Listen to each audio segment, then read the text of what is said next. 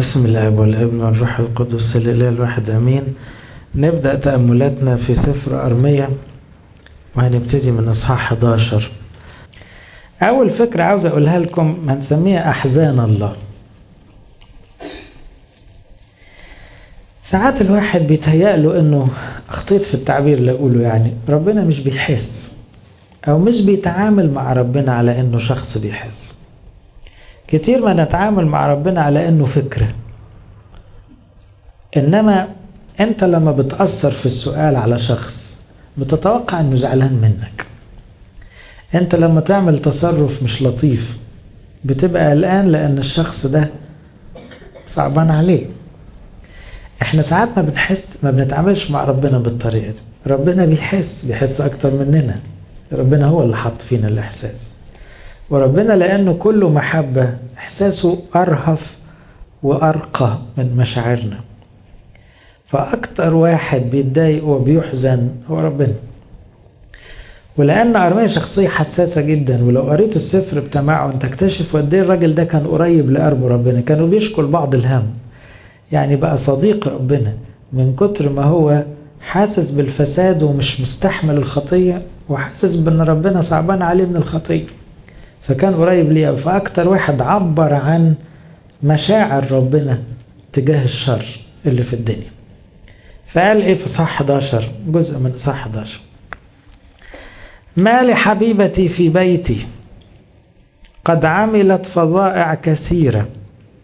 11 15 ما لحبيبتي في بيتي؟ قد عملت فظائع كثيرة. واللحم المقدس قد عبر عنك. إذا صنعت الشر حينئذ تبتهجين. زيتونة خضراء ذات ثمر جميل الصورة. دعا الرب اسمك. بصوت ضجة عظيمة أوقد نارا عليها فانكسرت أغصانها. ورب الجنود غارسك. قد تكلموا عليك شرا من أجل شر بيت إسرائيل. وبيت يهوذا الذي صنعوه ضد أنفسهم. ليغيظوني بتبخيرهم للبعل هتلاحظوا إن في كتير من النبوات تعامل أورشليم كلها معاملة الأنثى لأن ربنا بيتعامل معانا كعروس. ربنا عشان يقرب فكرة قد إيه بيحبنا. حط نفسه عريس واعتبر كل نفس فينا عروس أو اعتبر شعبه عروس ليه. ومن هنا بيسميها حبيبتي. فربنا بيقول لكل نفس انت حبيبتي. انما حبيبته دي الحقيقة متعبة جدا ومزعجة. فهنا بيقول ما لحبيبتي في بيتي. يعني عارفين لما الراجل يقول إيه؟ جرى لها إيه الست دي؟ جرى لها إيه؟ يعني ما لحبيبتي في بيتي. دي دي في بيتي. وحبيبتي ليه بتعمل فيه كده؟ فربنا بيتحسر على اللي بتعمله النفس في ربنا. الشر اللي الواحد بيعمله. أول معنى يحزن قلب الله أن الواحد فينا مش حاسس أنه محبوب. تصور أنت بتحب شخص بجنون تحبه جدا وهو بيتهمك أنك مش بتحبه أو هو بيقول لك أن أصلك مش بتحبني. تبقى متغاظ بتبقى متضايق. أنت يا ابني مش عارف قد إيه أنا بحبك. أنت إزاي مش واصل لك قد إيه أن أنا بحبك؟ طب ده مفيش حد بحبه أكتر منك. إنما دي حتة بتوجع ربنا. إحنا مش دريانين إن إحنا محبوبين عند ربنا جدا. ودي حاجة بتزعل ربنا. مش بتزعله إنك أنت مش بتحبه. هو عارف إن إحنا قلبنا قد كده يعني. إنما بيزعله إنك مش حاسس إنه بيحبك. مش حاسس إنه مشغول عليك. فدي بتزعله. مش حاسس يعني إيه ربنا له المجد كبير قوي ده؟ بيقول على كل نفس حبيبتي في بيتي. مال حبيبتي في بيتي؟ نفس المعنى ده قاله حسقيلة تلاحظوا بقى كل المعاني دي قديم وجديد هي نفس الفكر. كل الكتاب المقدس بيقدم الفكرة دي. قد إيه أنت كنفس محبوب عند ربنا؟ غالي قوي وده اللي مخلي الواحد يبقى يا إما فرحان قوي لو فهم المعنى ده يا إما تعيس جدا لأنه مش دريان بالحقيقة دي.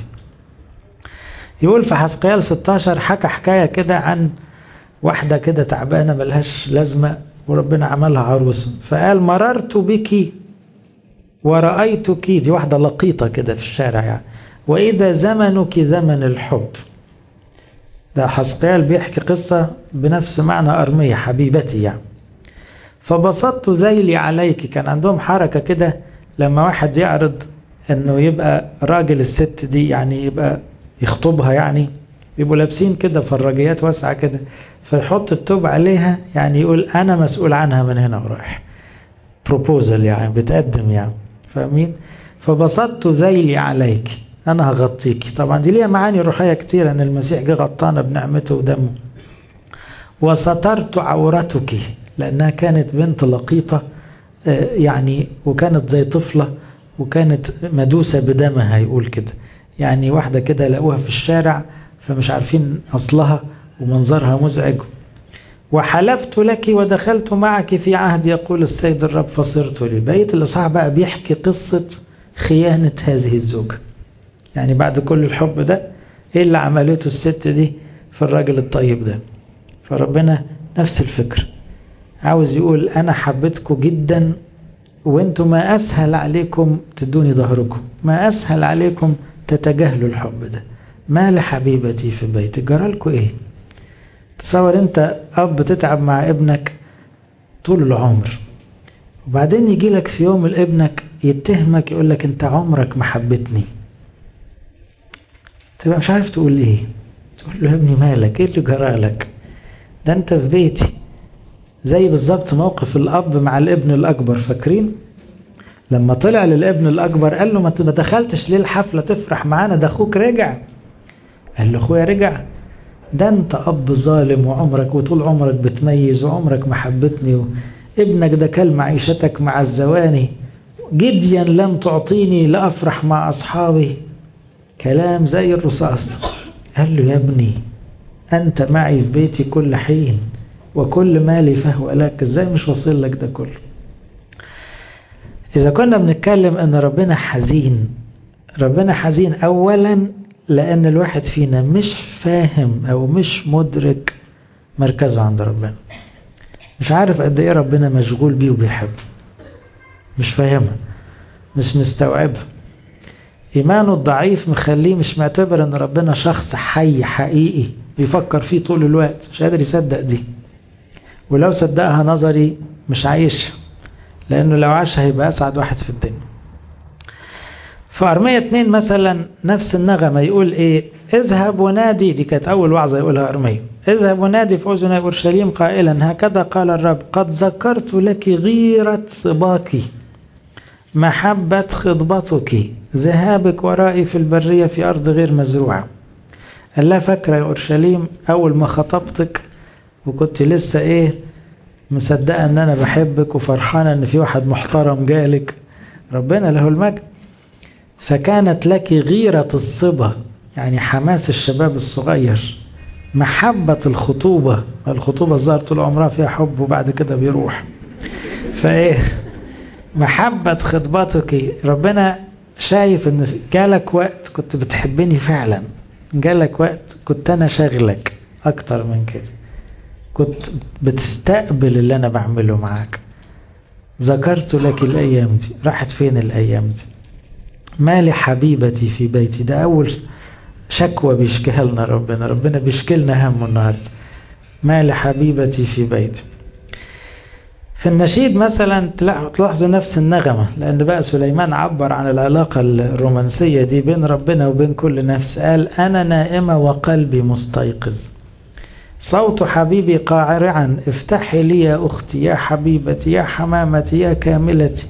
لأن رأسي امتلأ من الطل وقصصي من ندى الليل. برضو بقيت الإصحاح بالذات كله عتاب أصلا. ما لحبيبتي في بيتي. لطعاه على الباب طول الليل. إيه اللي جرى لها؟ كانت زمان بتجري وراه قبلها بصحين طلعت تجري وراه وتقلب الدنيا. دلوقتي الواحد تقلان على ربنا. تصور الواحد بيتقل على ربنا يبقى ربنا اللي قاعد على الباب طول الليل مستني واحد يفتح له. مستني يحكي مستني يقول كلمة مستني يسمع أبانا الذي حتى. ما لحبيبتي في بيتي أول كده حزن من أحزان الله إحنا عاوزين ندخل النهارده قلب ربنا. مش. مش هنتكلم عن نفسنا قد ما هنتكلم بالأكثر النهارده عن ربنا نفسه كمتألم كحزين. الموضوع مش مجرد الصليب ده الصليب ده كان اكسبريشن عن آلام كتيرة قوي وأحزان حسها ربنا. آلاف السنين تجاه البشر. عشان كده يقول أحزاننا حملها وأوجعنا تحملها. يبقى أول حقيقة كده ما يحزن قلب الله أنك لا تدرك كم يحبك. ما يحزن قلب الله أنك لا تدرك كم يحبك. حط على الحزن ده بقى شوف ربنا بيحب البشر كلهم. شوف كام مليار بني آدم في الدنيا ما يعرفوش إن في ربنا محب للبشر. يا حزنك يا رب. يعني على الأقل أو إحنا برضو بنقول يا رب وبنختشي شويتين وبنحبه شوية. إنما إيه رأيكم إن في أضعاف أضعاف أضعافنا كمسيحيين؟ ما يعرفوش ربنا خالص. وبيسخروا منه. ومش دريانين إنه بيحبهم طبعا ده شيء محزن جدا ليه؟ ليه هو؟ تاني نوع من الحزن اللي بيحزنه ربنا يقول قد عملت فظائع كثيرة. ما لحبيبتي في بيتي قد عملت فظائع كثيرة. برضو حجم الخطية بيختلف تماما من واحد لواحد. يعني في واحد يكذب ويفتخر إنه بيكذب. وفي واحد يبالغ مش يكذب وتلاقي ضميره بينقح عليه اليوم كله. مش كده؟ في واحد يسرق ويروح يفتخر إنه ضحك على الناس. وفي واحد لو دخل في إيده حاجة مش بتاعته غصب كده يعني ما قصدش تلاقيه مش طايق نفسه. واضح إنه الخطية نسبية بالنسبة لنا. بالنسبة لربنا القدوس أصغر خطية مصيبة جريمة لأن ربنا قدوس فما يستحملش الشر. إنما إحنا كمان ساعات نتبارى في الشر ونعمل فظائع. يعني ساعات الواحد يعمل حاجات فعلا تكسف مش حاجة عادية. فربنا بيقول مالها جرى لها إيه؟ بقت تعمل فظائع. فكركم مرة قيل عن خطية واحد من حبايب ربنا إنها حاجة ما تتعملش. أبونا إبراهيم. أبونا إبراهيم ده نفس غالية جدا عند ربنا وحبيبه قوي. فربنا بعت له عتاب على فم شخص تاني. إمتى غلط أبونا إبراهيم غلطة كبيرة؟ لما قال على سارة أختي يعني نظام إيه؟ ياخدوها ياخدوها بس الواحد إيه؟ يطلع كده من البلد دي بسلام. طبعا يعني عيب قوي. وفي نفس الوقت أنت رجل الله ياخدوها إزاي؟ أنت لو قلت يا رب البلد كلها تقف. انت بالذات دقت ربنا فما ينفعش تفكر كده ابدا. فتعتبر حاجة فظيعة اللي عملها ابونا إبراهيم فظيعة بالنسبة له لأنه هو عارف مركزه عند ربنا وجرب ربنا وعارف قوة الصلاة. يعني ما تمشيش مع شخصيته أبدا غلطة من النوع ده. كذب على خوف على جبن على فربنا ستر.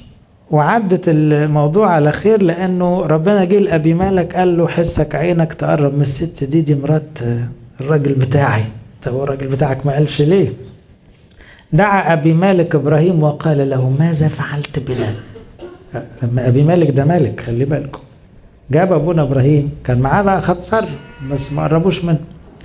بماذا أخطأت إليك حتى جلبت علي وعلى مملكتي خطية عظيمة؟ أصل أبونا إبراهيم ما كانش دريان إنها إيه؟ إنها فظيعة إنها عظيمة. أعمالا لا تعمل عملت به ساعات ربنا يبعت لنا عتاب. عاوز يقول لك أنت مش عارف أنت عملت فيا إيه. يوم يجي شخص يقول لك أنت تعمل كده؟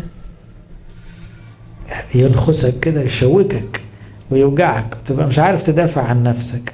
هي هو ربنا عاوز يقول لك أنت عملت فيا أكتر من كده إذا كان أبي مالك البني آدم الغلاط العادي ما استحملش منك تصرف زي كده. مش مصدق إنك أنت كبني آدم عادي محترم تعمل كده في الناس وفي مراتك.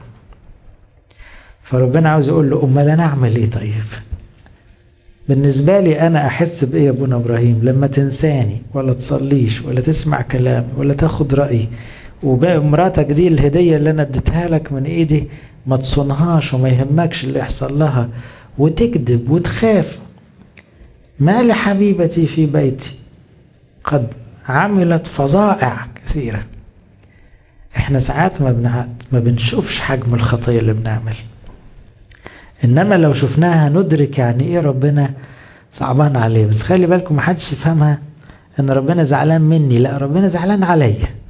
أو ربنا مجروح كشخص كله حب بيبقى مجروح في محبته. ليه يا ولادي تعملوا كده؟ ليه يطلع منك كده؟ ليه, ليه توصل معاك لكده؟ فحسقيال 16 في آخر القصة إياها بتاعت البنت اللقيطة دي اللي غلبت عريسها ودوخته وخانته. قال لها في آخر الكلام إيه؟ قال لها شوفي أنا أنا ما شفتش اللي شفته منك ده. لكن أنا عاوز حاجة واحدة. كي تتذكري فتخزي. ولا تفتحي فاك بعد. بسبب خزيك حين أغفر لك كل ما فعلت يقول السيد الرب. يعني إيه؟ يعني أنا عاوزك تفتكري اللي أنت عملتيه عشان تتكسفي بس.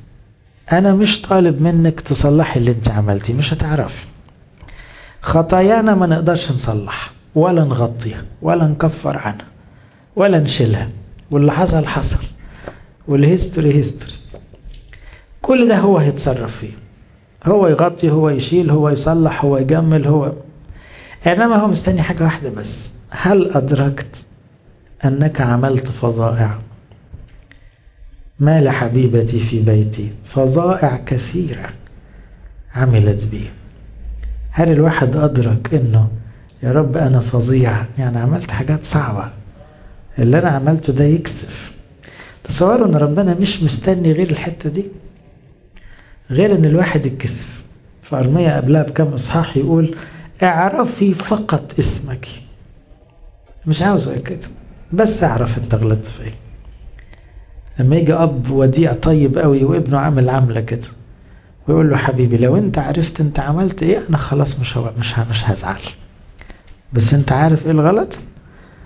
ده أب طيب قوي وأب حكيم اللي اتعامل كده. ربنا أطيب من كده كمان. مهما عملنا ولخبطنا يقول هشيل هشيل ده كله. بس انت عارف غلطتك؟ انت شايفها؟ انت تقدر تقول في قلبك أنا عملت فظائع؟ حاسس بدي ولا لأ؟ تذكري فتخزي ولا تعودي تفتحي فاك يعني ما يصحش تعترضي على حاجة بعد كده. ما يصحش تقولي أصل, أصل لا أصل لا. تبقى ما عرفتيش الغلط. اللي عارف غلطه يسكت خالص. اللي عارف الفظائع اللي عملها ما بيفتحش بقه قدام ربنا. يقول له أنا بلا عذر يا رب. تعجبني الحتة في صلاة الغروب؟ ولا في الستة لما نقول إيه؟ ليس لنا دالة ولا حجة ولا معذر يعني لا هنعرف نتدلع عليك ونقول أصل ولا حجة مفيش حجة ولا عذر معذرة. فبنجري على العذراء نقول لها قولي معانا حاجة موضوع يكسف. فهنا إحساس الواحد إنه ملوش عذر ده إحساس على فكرة بيريح ربنا يكفي ربنا إنه يشعر إنك أنت أدركت اللي أنت عملته. الباقي كله عليه الباقي كله سهل بعد كده. يقول في أرمية اتنين برضو لأن شعبي عمل شرين تركوني أنا ينبوع المياه الحية لينقروا لأنفسهم آبارا آبارا مشققة لا تضبط ماء. سابوني أنا مصدر الأمان والحب والفرح والسلام والغنى وال... رايحين يجروا يمين وشمال عمالين يحفروا في صخر كده عواروا روحهم إنها تطلع نقطة مية ما بتطلعش. عملوا مصيبتين مصيبة أولانية سابوني خالص ومصيبة تانية بيحفروا في حتة غلط. بيدوروا على مية ما بتطلعش مية. وطبعا الشرين دول موجودين في حياتنا. إحنا ما أكثر ما نترك الله. دورش عنده على السلام والراحة والفرح والشفاء. وما أكثر ما نجري في الدنيا ندور. يمكن نلاقي المية بتاعتها تعب يبقى تاني فكرة ما يحزن قلب الله الخطية الخاطئة جدا. بولس استخدم التعبير ده في روميا قال لكي تظهر بالناموس أن الخطية خاطئة جدا. إحنا كلنا بنغلط يا جماعة بس كل ما تحب ربنا أكتر كل ما توصل للفكرة دي قد إيه الخطية وحشة؟ قد إيه الخطية فظيعة؟ مقياس الشر عند واحد مختلف عن التاني بقدر ما بيحس بربنا وبيحب ربنا. فلو بتحب ربنا قوي هتعرف ليه ان الخطية خاطئة جدا؟ وحشة قوي. وده هيخليك ترجع ربنا بسهولة. الفكرة الثالثه يقول واللحم المقدس قد عبر عنك. إحنا بنقرأ الباراجراف بتاع أرمية 11 من 15 ل 17 كل ده في أيتين يعني. ما لحبيبتي في بيتي؟ قد عملت فظائع كثيرة. واللحم المقدس قد عبر عنك. اللحم المقدس يا جماعة كان إشارة إلى الذبائح اللي تقدم حسب الشريعة يسموها لحم مقدس. أصل ليها نظام. لازم تكون مثلا الذبيحة دي مش عرجة ولا عوجة ولا مضروبة ولا ولازم تتقدم مثلا ابن بكر ابن سنة ذكر مفهوش عيب يعني حاجات كتيرة كده. طبعا في الوقت ده بطلوا خالص يعملوا ذبايح أو يجيبوا الذبايح المضروبة لربنا وأكتر الذبايح بقت رايحة للأوثان في الوقت ده. يعني يجيبوا الحاجات الغالية يقدموها للأوثان. طبعا دي إهانة لربنا شديدة قوي فمثلا في ملاخي واحد ربنا قال نفس العتاب بطريقة تانية. قال إن قربتم الأعمى ذبيحة. يعني الواحد يلاقي خروف أعمى يقول لك ما نخلص منه مش هيتباع. مش هيتباع. ابونا يقدموا ذبيحة وخلاص. اسمنا قدمنا ذبيحة. فاهمين الفكرة؟ فيجيب الأعمى ذبيحة يعني جاب حاجة ما تنفعش معيوبة. أفليس ذلك شرا؟ هو أنت ما خدتش بالك إن ده شر؟ إنك تجيب ذبيحة معيوبة كده؟ وإن قربتم الأعرج الأعرج برضه ذبيحة عرجة يعني خروف أو معزة والسقيم أفليس ذلك شرا؟ قربه لواليك. أفيرضى عليك؟ فاهمين التعليق؟ روح أديه لمديرك. يعني روح اقف قدام مديرك الوقفة اللي بتقفها قدام ربنا في الصلاة. روح قول لمديرك الكلمتين اللي بتقولهم لربنا. روح اعمل شغل شغلك اللي في الدنيا بنفس الطريقة اللي بتعمل بيها شغل ربنا. أفيرضى عليك؟ يعني شوف ربنا بيقول إيه طب أنا أنا زي زي الرئيس بتاعك. الرئيس بتاعك ايا ما كان تقدر تعمل معاه اللي بتعمله معايا تقدر تعامله بالاحتقار وعدم الاهتمام اللي بتعاملني بيه ده. فهنا إيه؟ العتاب الثالث أو الحزن الثالث في قلب الله. حكاية اللحم المقدس قد عبر عنك. إن الواحد بيهمل في حق ربنا. إحنا لا نهمل في حق الناس عادة. المجاملة مجاملة. والزيارة زيارة. والإحترام الواجب. طب وحق ربنا؟ ده إحنا ما بنعاملش ربنا زي شخص محترم عايشين معاه. ما بنعاملوش بنفس الدرجة. وده يحزن قلب الله. يقول هنا قربه لواليك فيرضى عليك أو يرفع وجهك. قال رب الجنود.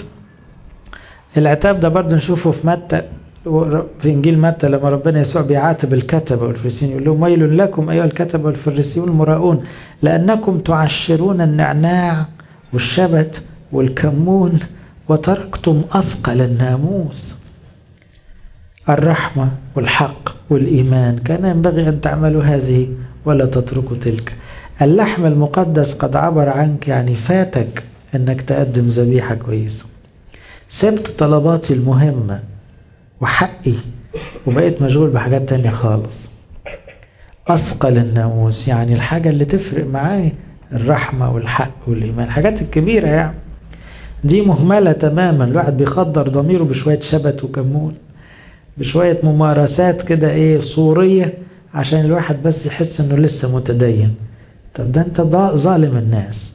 ده أنت بتجيب في سيرة الناس طول النهار. ده أنت ما بتحبش حد. أنت سبت أثقال الناموس وماسك في الحاجات دي. في مزمور خمسين لو حسب الترتيب يبقى ارحمني الله هو الواحد وخمسين. تعبير جميل يقول اذبح لله حمدا واوفي العلي ندورك وادعيني وقت الضيق انقذك فتمجدني. اذبح لله حمدا يعني إيه؟ واحد يقول هو إيه حق ربنا؟ صدقني اول حق ربنا هو كلمة إيه؟ اشكرك يا رب. اول حق الرب انت النهاردة لما حد بيجيب لك حاجة لغاية ديليفري لغاية البيت بتقول كتر خيرك. شكرين. طب ده ربنا نازل ديليفري طول اليوم. شغال. وطول العمر. وحاجات كبيرة قوي. صحة وعمر ونجاح وخير وناس وبركات و... طب اسبح لله حمدا. قد إيه بتشكر؟ وبتشكر بأي مود وبأي ابتسامة وبأي رضا.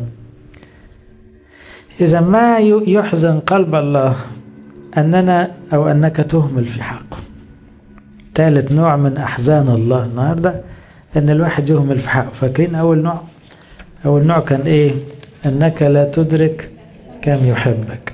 تاني حاجة تزعل ربنا أن الخطية خاطئة جدا. ثالث حاجة تحزن ربنا أنه الواحد بيهمل في حق ربنا. رابع نقطة. في وسط كلام أرمية خلي بالكم ربنا يسوع بيتكلم على فم أرمية بينقل مشاعره على فم النبي.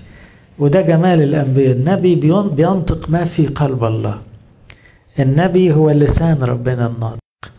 تكلم أناس الله القديسون مسوقين بالروح القدس. الروح القدس بينطقهم باللي بيحسوا ربنا. من ضمن ما قال برضو في نفس الجزء ده قال إيه؟ إذا صنعت الشر حينئذ تبتهجين. يعني إيه دي؟ ربنا يحزنه إن الواحد فينا ينبسط بأي حاجة غلط وما بينبسطش بأي حاجة صح. يعني بعتبر إن قسوة شديدة قوي من الولد اللي قال لأبوه في مثل الابن الضال جديا لم تعطيني لأفرح مع أصدقائي. هي تترجم عند الأب بمعنى إيه؟ يعني أنت ما بتفرحش معايا أنت زهقت من أبوك العجوز أنت مالكش سعادة في بيتك أنت كل مصلحتك عندي هي الجدي إنما فرحك مع أصحابك في الشارع. هي بتترجم كده. وإحنا ساعات كآباء بشريين نحس بالمعاني دي إنه إن ما بقيناش إحنا مسليين لأولادنا أو ما بقاش فرحتهم بينا. طيب إيه رأيك؟ ده إحنا بشر. اما ربنا لما يلاقي البشر بيفرحوا بأي حاجة إلا القعدة معاه. وبيفرحوا بالغلط. بيفرحوا بالحاجات اللي بتزعله. طبعا تضايق جدا. يعني مش بيعملوا الغلط. في فرق بين واحد يعمل الغلط واحد يفرح بالغلط. ده دي درجة أعلى شوية وأصعب على ربنا. فهنا بيقول إذا صنعت الشر المفروض يجي بعدها إيه؟ تندمين إذا صنعت الشر تنزعجين. إذا صنعت الشر تتوقفين عن الشر. إنما إذا صنعت الشر حينئذ تبتهجين. ده مستوى صعب أوي. إن الواحد يبقى مبسوط بحاجة توجع ربنا. وبرضه إحنا بنوصل للمستوى ده أحيانا.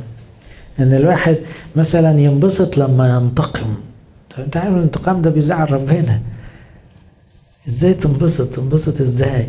واحد ينبسط لما إيه؟ لما مثلا يعني قاعد يتكلم على فلان وطلع كل اللي جواه بقى. طب ده اللي جواك ده كله غلط. كان لازم ي... ما يطلعش كان لازم ينضف. فأيوب 15 يقول إيه؟ بالحري مكروه وفاسد الإنسان الشارب الإثم كالماء. في واحد يوصل في شره إنه الخطية زي اللي بيشرب كوباية مية. يعني مش حاسس بأدنى مشكلة وهو بيغلط. صدقوني في خطايا بنعملها كده. في فكرة تعدي عليك ما حسيتش خالص إنها مشكلة. بس دي مشكلة. الفكرة دي خطية. الفكرة دي شهوة. الفكرة دي كراهية. الفكرة دي تبعدك عن ربنا. قاعد يبص بصة البصة دي غلط. انت شربتها زي المية إزاي؟ الكلمة دي غلط؟ انت بلعتها زي المية إزاي؟ انت صرت تشرب الإثم كالماء. في ناس كتيرة كده. من كتر التعود ما بيجدش أدنى مشكلة وهو بيغلط. وطبعا بتوصل إلى أخطاء كبيرة بعد كده. يعني بتكلم في أخطاء بنعتبرها صغيرة زي الكلام والنظر والفكر.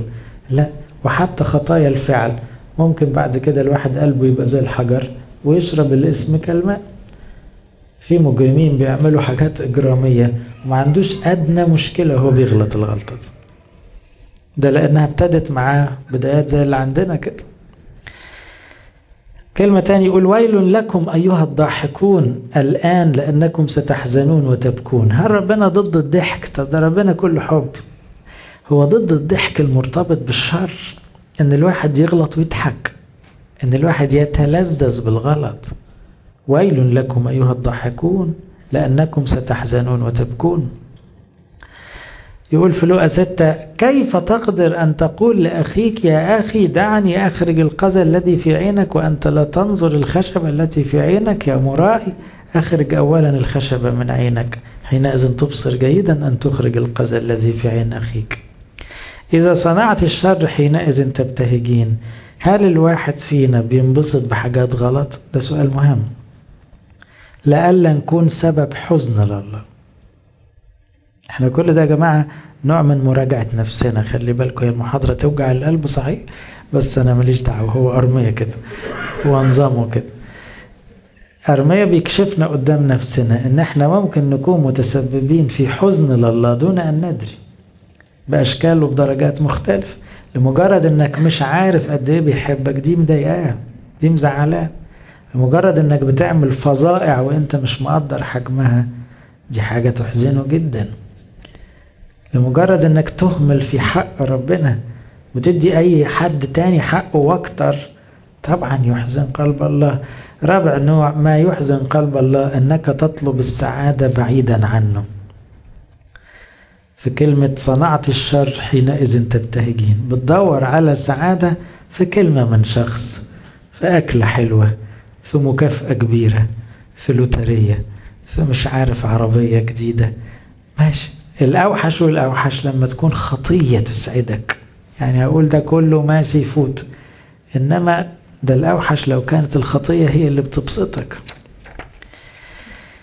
نمرة خمسة بعد كده يقول إيه في النص بتاع أرمية 11 زيتونة خضراء ذات ثمر جميل الصورة دعا الرب اسمك. وبعد كده يقول إيه؟ اضطريت أحرقها خالص. فاكرين النص؟ قال بعد ما كانت زيتونة خضراء جميل الصورة ذات ثمر دعيت اسمها. هنا عاوز أكلمكم عن إيه؟ كل واحد بيحلم في المستقبل لولاده أو لحبايبه. بيحلم لهم. أنت بتتمنى تشوف حبيبك ده ابنك ابن أخوك حفيدك حاجة كبيرة قوي وتبقى عايش الحلم ده. أنت كبير يمكن ما بتحلمش لنفسك خلاص. خلاص أنت بتحلم لحد تاني. إنما كم يحزنك؟ إن الشخص اللي أنت بتحبه ده يمشي بسكة عكس خالص أحلامك. يكسر قلبك ويعمل عكس اللي تمنته له خالص. وعكس وحش يعني مش عكس أقول لك كنت عاوزه دكتور بقى مهندس كله حلو. لا لا أنا أقصد كنت عاوزه ناجح طلع فاشل. كنت عاوزه بتاع ربنا طلع ما يعرفش ربنا. مثلا طبعا دي ياما الواحد يشوف أمهات أو جدات أو أبهات أو ويبقى مكسورة نفسه لأنه لأنه ابنه ما مشيش زي ما اتمنى. فبيبقى قلبه وجعه. شوف بقى ربنا كأب مثالي حاطط حلم لكل واحد. وحلم كبير قوي بقى. يعني ربنا أحلامه لناحيتنا بلا حدود لأنه شايفنا كبار قوي احترمنا زيادة عن اللزوم. إرادة الله صالحة مرضية كاملة. فهنا يقول زيتونة خضراء ذات ثمر. هي عمرها ما كانت كده على فكرة. أورشليم طول عمرها جربانة وخربانة بجد أنا مش أنا بقول كده الكتاب قال عليها كده. إنما في ذهن الله زيتونة خضراء ذات ثمر. هو تمناها كده. اشعياء خمسة يقول كرمه مش يقعد يغني وبعدين يقول ماذا يصنع لكرمي وأنا لم أصنعه له. يعني عملت كل حاجة وبوظوا الحلم برضه. مثلا في تسالونيكي واحد يقول إرادة الله قداستكم. تصور أن ربنا إرادته أن يعمل من كل واحد فينا قديس؟ وإحنا التعبانين كده اللي قاعدين؟ آه هو إرادته كده. وهو بدل إرادته كده خلي بالكم اللي بيبقى عاوز حاجة بيسخر كل حاجة لخدمة الحلم. أنت مثلا عاوز ولادك متفوقين بتعمل أي حاجة عشان دي رغبتك. فربنا حاطط كل إمكانيات القداسة في إيدينا لأن ده المشروع اللي عند ده الحلم. إن كل واحد فينا يبقى قديس إرادة الله قداستكم هتقول بس أنا وحش قوي يقول لك ابتدي من أن تمتنعوا عن الزنا. تصور ابتداها بكده. الآية اللي بعد إرادة الله قداستكم تخض. يقول بداية امتنعوا عن الزنا. طب ده انت بيكلم ناس واقعة خالص يعني. طب وماله؟ مفيش مشكلة. برضو إرادة الله قداستكم. يعني ياخد من تحت الأرض كده لفوق السماء لما الواحد بقى يمشي في سكة تاني خالص ويبقى القداسة أو كلمة قديس دي كلمة مش في القاموس خالص. عمرها ما كانت تارجت ولا حلم من أحلامه لا.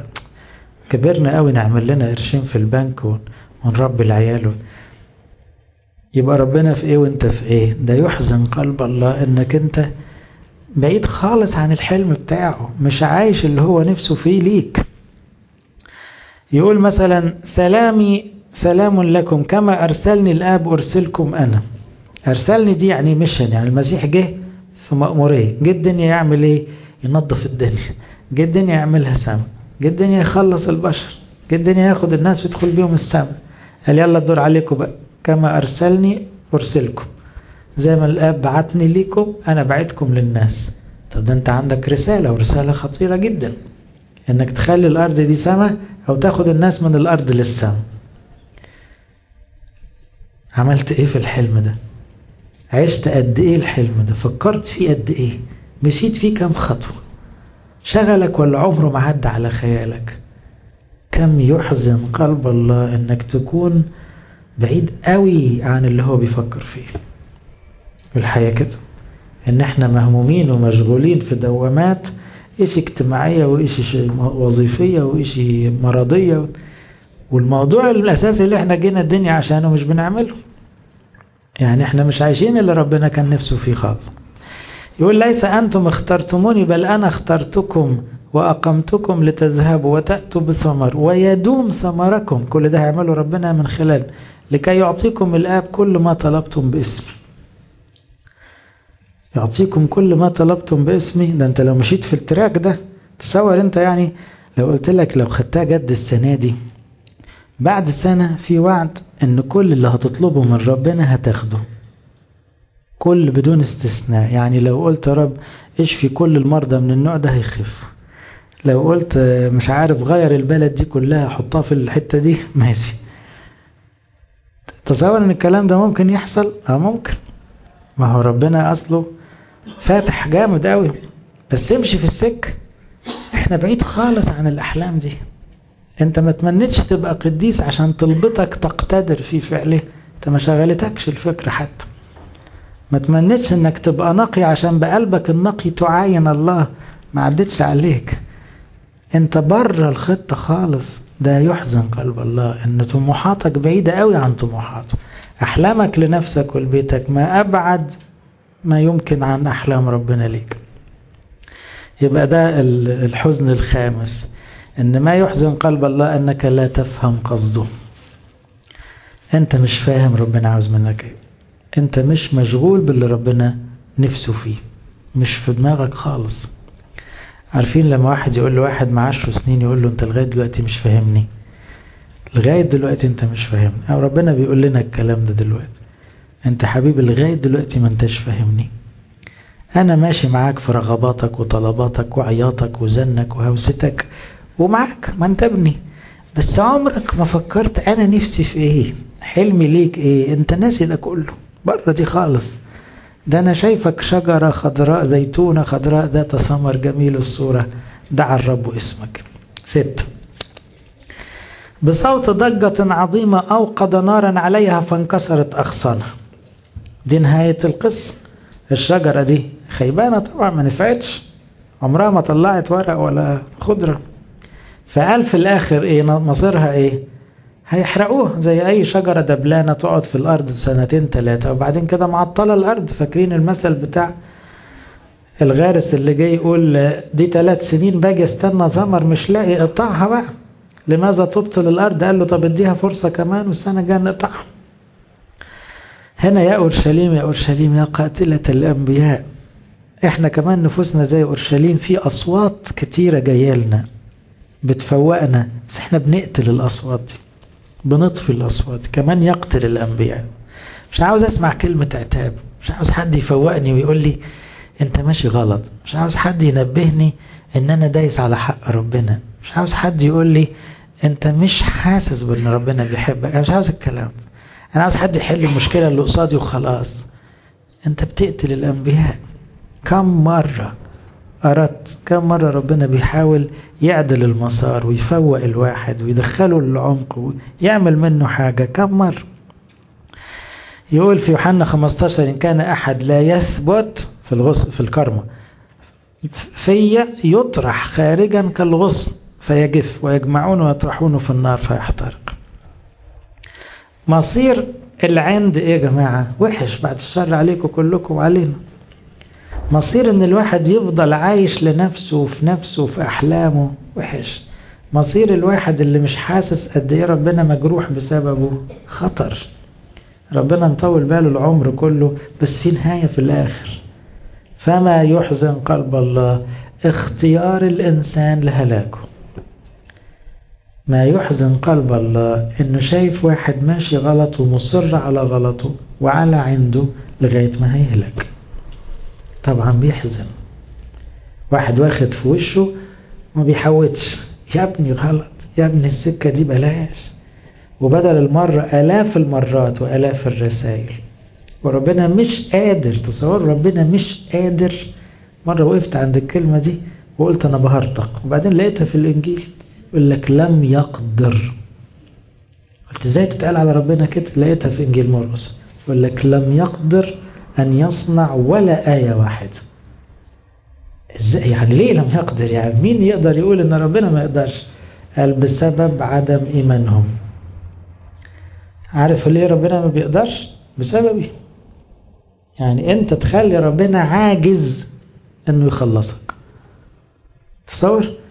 يعني ربنا يبقى عاوز يعمل أي حاجة عشان يدخلنا السماء وفي واحد بعنده وعدم إيمانه يخلي ربنا عاجز إنه مش عارف يعمل إيه. مش عارف يتصرف. مفيش في إيده حاجة تانية تتعمل. طبعا بيبقى حزين ساعتها لأنه بيشوف ناس بتهلك بدون إرادته لأن الله يريد إيه؟ أن الجميع يخلصون. فأي حد لا يخلص ده ضد إرادة الله. أي حد بيهلك ده بيوجع قلب ربنا. اوعوا تفتكروا إن ربنا بيتفرج على الأشرار اللي رايحين جهنم فرحان. لا خالص. مش دي رغبته ده هو حزين عليهم. إنما ما يقدرش يعمل أكتر من اللي بيعمله ما يقدرش يجبرهم. فالموضوع هنا إيه؟ ما يحزن قلب الله إن الواحد ممكن يكون بيعند لدرجة الإصرار على الهلاك وهو مش دريان. يقول حزن الرب أن عمل الإنسان في الأرض وتأسف في قلبه. الواحد مستغرب جدا من الآيات دي. تأسف في قلبه. ندمت يا رب. حزين لدرجة الأسف أنت لماذا تتأسف؟ لأن الإنسان مصر يمشي غلط. وربنا بيحترم إرادته زيادة بيعامله كده ند الند عشان زي ابنه. فمش ما بيجبروش على الغلط. يبقى ما يحزن قلب الله اختيار الإنسان للهلاك. يقول شر بيت إسرائيل وبيت يهوذا الذي صنعوه ضد أنفسهم. هنا فكرتها إيه ببساطة؟ بيت إسرائيل وبيت يهوذا يعني إيه؟ مرة قريت كده مذكرات لراهبة يعني. لقيت وسط كلامها كلمة جميلة قوي. إن جات لها رهبة في ليلة تشكلها كده مشكلة. فانفجرت في العياط. وقالت لها ربنا يسوع بيلف, بيلف العالم كله ما بيلاقيش حتة تريحه. كنت دايما شايفة إن الدير هو المكان الوحيد اللي ممكن يجي ربنا يسوع يحط راسه ويرتاح عندنا. اللي انت بتحكيه ده معناه انه حتى هنا مش هيرتاح. هي فكرت في إيه؟ ان الدنيا كلها ضلمة والشر في كل حتة. خلونا إحنا المكان الهادي الوحيد اللي ربنا يرتاح عندنا. انما ولا حتة كويسة. مفيش حد كويس الحياة دي حتة تخوف. لما تحطها في بالك إن واحد مضروب من كل اللي حواليه. تصوروا معايا أب مراته مش حلوة وولاده وحشين وإخواته وحشين وأبوه وأمه وحشين. إيه ده؟ مفيش حد عدل؟ مفيش حد كويس؟ يعني ده ولا الأفلام العربي بتاعت زمان يعني من كل حتة كده؟ وضع ربنا كده. يقول لك شر بيت إسرائيل وشر بيت يهوذا. يعني لا لاقيها من دول ولا من دول. يعني مفيش حد كويس. فمش بس خطيتي وخطيتك انت لو تصورت العالم كله شر محدش بيبادر ربنا الحب كما يجب. محدش مقدر اللي ربنا بيعمله محدش مدي ربنا حقه. يعني ربنا مظلوم من الكل. ده يزيد أحزانه طبعا. لما يقول هو ده تأتي ساعة تتفرقون فيها كل واحد إلى خاصته وتتركوني وحدي. تحس إن ربنا يسوع بيقولها هو متألم. تلاميذه ال 12 محدش فيهم عمل المطلوب في الوقت ده. 11 واحد خان من الأول وباع و10 جريوا واللي فضل ما قدرش يتكلم فضل ماشي معاه وخلاص. إنما في الحقيقة معناها إيه؟ محدش عمل اللي المفروض يتعمل. يعني كان على الأقل زي ما قال بطرس إن أمكن أموت عنك. ما حدش عمل دي خالص. فهنا ما يحزن قلب الله أن الجميع زاغوا وفسدوا لما تلفوا في بلاد العالم شوفوا قد إيه زوغان وقد إيه فساد وقد إيه شر وقد إيه بحية وقد إيه تجديف على اسم ربنا. إذا كنت أنت يا مسيحي بتتخض وبيصعب عليك هم ربنا بيحس بإيه؟ لما يبقى بلاد بيشرق عليها كل يوم بشمسه وهما بيتباروا في شتم ربنا وإهانة ربنا والتجديف على اسمه. وهو من ناحيته يطلع الشمس كل يوم. لأن هو يفضل أب مظلوم كده وهادي آخر حزن نقوله بقى إيه؟ يقول ليغيظوني بتبخيرهم للبعل. عشان نفهم الحتة دي نرجع كم آية كده في عدد 11 10 يقول قد رجعوا إلى آثام آبائهم الأولين. الذين أبوا أن يسمعوا كلامي وقد ذهبوا وراء آلهة أخرى ليعبدوها قد نقض بيت إسرائيل وبيت يهوذا عهدي الذي قطعته مع أباهم. فبلا يقول لم يسمعوا ولم يميلوا أذانهم بل سلكوا كل واحد في عناد قلبهم الشرير. فجلبت عليهم كل كلام هذا العهد الذي أمرتهم أن يصنعوا ولم يصنعوا. ما يحزن قلب الله كسر العهد. أظن في منكم مثلا عاملين شركات وبعدين شريكه يخون العهد يغزله يسرقه ما يلتزمش بالاتفاق. عهد زي الجواز واحد ما يعملش خالص الالتزامات اللي عليه وطول النهار إحنا في المشاكل دي. تقول لك ده قال لي في الخطوبة هيعمل ويعمل ويعمل. خطوبة قبل العهد. إنما بعد العهد كسر ما عملش حاجة خالص. كسر العهد ده مر. لأن اتفاق فالاتفاق الواحد بيرتاح لما يتفق. ربنا اتفق معانا تبقوا ولادي وتبقوا شعبي وأبقى أنا أبوكم ومسؤول عنكم وأوصلكم وأعمل فيكم. بس اسمعوا كلامي. بس بلاش آلهة أخرى. بس ما تعملوش زي الناس اللي حواليكم. طلبات مش كتير ومش صعبة كل الكلام ده اتكسر. عبدوا أوثان وقلدوا الوثنيين وتفوقوا على الوثنيين في الشر وأهملوا ربنا تماما وفضل يستحمل ويحاول. إنها فكرة كسر العهد دي فكرة صعبة أوي. ما يحزن قلب الله إن بيننا وبينه عهد. كل مرة نيجي نتناول ده عهد. دمي الذي للعهد الجديد. عهد إنك تعيش لربنا. عايش لربنا؟ دي كلمة صعبة. أنت ملكه؟ العهد كده الاتفاق كده. هديك وبارك لك وافرحك واخدك عندي السماء إلى الأبد. بس قضي اليومين دول لي أنا. خليك معايا أنا. اسمع كلامي أنا. امشي ورايا أنا. إحنا متفقين؟ متفقين. بعد ما اتفقنا ما عملناش اللي اتفقنا عليه. فكرة كسر العهد محزنة. لما تحس إنك أنت كاسر عهد مع ربنا بكل خطية بكل إهمال بكل تقصير. سؤالنا الأخير طب نصالح ربنا إزاي؟ إذا كنا نحزن قلب الله بكل الأشكال دي نحزنه لأننا مش حاسين إنه بيحبنا نحزنه لأنه خطيتنا فظائع أو إن إحنا نهمل في حقه أو بندور على سعادة بعيد عنه أو مش فاهمين قصده وغرضه. أو مصرين نمشي سكة فيها هلاك أو الدنيا كلها ماشية غلط أو بنكسر العهد. يبقى السؤال في فرصة نصالح ربنا ولا لأ؟ بصوا أكتر حاجة تصالح ربنا ببساطة إنك ترجع لرب أو إنك تقرب من ربنا. يعني صلح ربنا أسهل شيء إنك أنت تقفل على نفسك وتكلم ربنا. أسهل واحد يتصالح هو ربنا. يعني الناس صعبة في مصالحتها. ممكن يشيل منك ويصعب عليه انما ربنا طيب قوي. وانس رحت الكنيسة وركعت وصليت أو دخلت أوضتك و... واعتذرت لربنا خلاص الصلح رجع. إنما عشان يدوم الصلح غير بقى في حياتك يعني. ركز بقى في عكس كل ده. إزاي تهتم بحقه؟ إن يبقى في صلاة في إنجيل في خوف ربنا في عشور في إنك تبعد عن الخطايا الفظيعة بقى الحاجات الوحشة دي. تقاوم بقى. إنك تلتزم بالعهد يبقى دايما ربنا شغلك إنك تفتكر دايما إنه بيحبك ومشغول عليك.